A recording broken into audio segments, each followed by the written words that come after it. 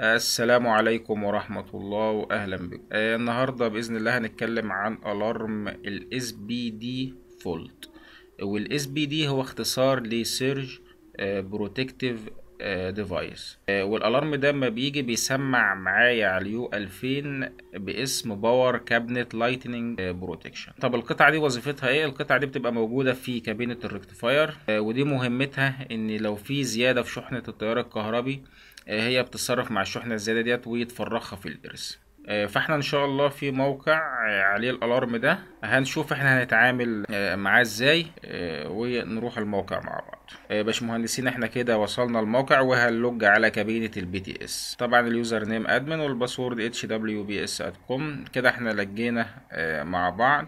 لو نجيب ال alarm هو ال alarm جاي في على كارتة ال EMU في port 17 وفي نفس الوقت هن log على ال rectifier بكتب اسم البروتوكول منساش اتش تي تي بي اس وبكتب 192 168 010 طبعا ال username admin وال password change me وال C capital ما ننساش. طبعا ال alarm اللي موجود عندي على ال rectifier لو نجيب active alarm طبعا door عشان فاتح الباب اللي هو AC SPD fault ده ال alarm اللي موجود على ال rectifier هنحاول ننسق كده يكون الاتنين باينين قدام حضراتكم على الشاشة.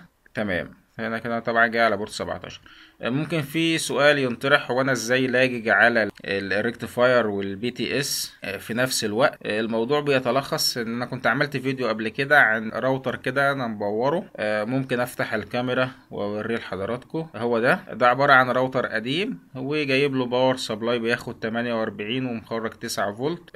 وده كابل ال power موصل له power عادي واخد 48 فولت. وده كابلين كابل رايح لل GTMU والكابل التاني رايح لل rectifier طبعا الفكرة ديت ممكن تنفعك في ال outdoor في مطر ممكن تحط الراوتر ده جوه الكابينة وتقفلها وت log وتبعد عن الكابينة عادي. طبعا يا باشمهندسين هو ده ال surge arrestor اللي فيه مشكلة. ودي القطعة اللي جايب أحمر دي هي ديت اللي faulty. وطبعا معنى أحمر إنها faulty. لو أخضر يبقى كده شغالة. تمام. هو موجود على يمين ال rectifier جنب مفتاح ال 63 أمبير. طب نحاول نجيب ال alarm كده على شاشة ال PMU. طبعا زي ما واضح قدام حضراتكم هو AC SPD fault. اللي ظهر معانا على اللاب. طيب لو ننتهز الفرصة ونحاول نوضح لكم ال alarm ات اللي مت connect ة ده الكابل اللي جاي من ال rectifier دي ال alarm ات اللي طالعة من ال rectifier جاية على كارتة ال EMU لو نستعرض سريعا كده عندي على port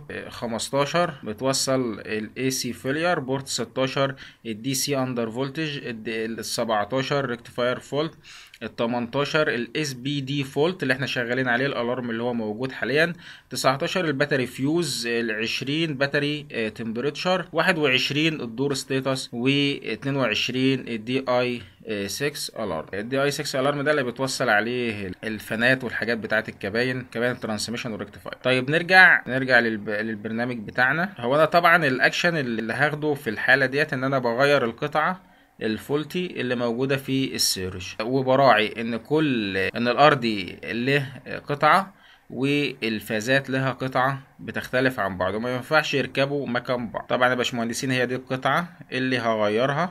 طبعا هي كده خضرة. ده دليل على إنها شغالة تمام. هحطها بس مكان القطعة ال faulty. وهضغط عليها كويس. وطبعا هنركز على ال alarm. المفروض ال alarm إن شاء الله كده ي clear معانا. طبعا كده ال alarm كالير على ال BTS وعلى ال rectifier طبعا يفضل في في ال protection بتاع الكهرباء إن أنا ما الوبش على alarm زي ده أحاول أحل المشكلة لأن الحاجات دي مهمة جدا وبتحمي الأجهزة. طيب لو نحاول نشوف ال alarm ده لو نرجع لل rectifier ونجيب system setting ونجيب alarm parameter من الجنب هنا واختار power system واعمل confirm هنا ال alarm ال SPD fault متعرف معمول enable أقدر أعمله disable من هنا. هو major وال output relay مفتوح على alarm أربعة. طبعا ده ال configuration بتاعه.